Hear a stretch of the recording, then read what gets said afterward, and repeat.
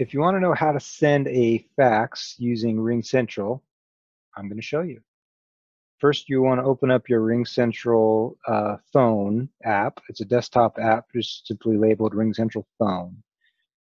Uh, this is at least one of the several ways in which to send a fax. There's multiple apps and multiple ways to send a fax. You can do it from your browser. You can do it from the uh, mobile app. You can do it from the RingCentral app uh, called RingCentral with the, kind of the big R here. And then you can also do it from the RingCentral phone app. So I'm going to show you how to do it from the RingCentral phone app in this video. Uh, the process is fairly similar on all of them. So there is at the bottom of your app here a button that says Compose Fax. Looks like a piece of paper with the corner folded. I'm going to click that, and this is how I'm going to send a fax. So don't get this confused with the envelope or messages where this is a list of all of your faxes that you have sent and received here, but it's not how you compose a new fax. You're going to do click this button uh, down at the bottom. Uh, I am going to type in uh, a name, or I can type in a number. Uh, so I've got a couple entries of my own name. That's kind of funny. Uh, but I'm going to click one of them, and then I'm going to send myself a fax and put in all this information. Uh, this is the recipient details. So this is who I'm sending the fax to and what I want them to, to see. Uh, I'm going to say, here's my super duper important fax. And uh, then I can just drag a fax here. I can also click the paper clip to attach a file. But I am going to grab this file and just drop it uh, supports a variety of different file types. As long as the total is 20 megs or less then you can send these files. So it could be a word doc it could be a pdf it could be an image. Uh, there's a whole long list of file types that are supported.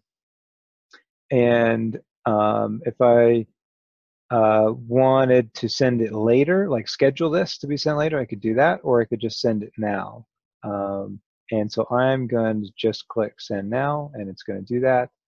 Um, I skipped over a, a, a, little part here, though, where you could uh, customize a cover page if you wanted to. So you can choose a variety of different um, cover pages uh, that are default, and including uh, upload your own cover page if you want to do that. So I'm just kind of using something simple.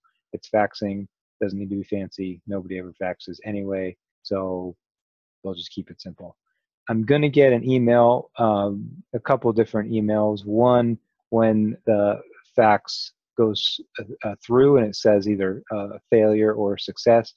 This one is uh, um, the actual fax of me receiving one. So this is kind of what it looks like when on the receiving end when the person receives the fax. If you didn't send it to um, a physical fax machine, which you can do, but if you send it to someone else who's on RingCentral, um, this is what it'll look like. They'll get it as a PDF, um, and you just simply open up the uh, attachment, and it looks like this.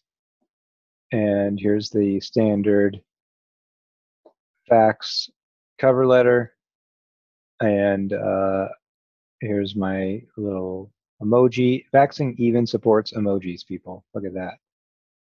Um, and who says faxing is, is, is an ancient dinosaur. Uh, so that's a little bit about how to fax with RingCentral. Super simple and uh, easy. And hopefully you can get some of those old fax machines out of there, uh, get some of those analog lines out of there, and start using RingCentral Fax.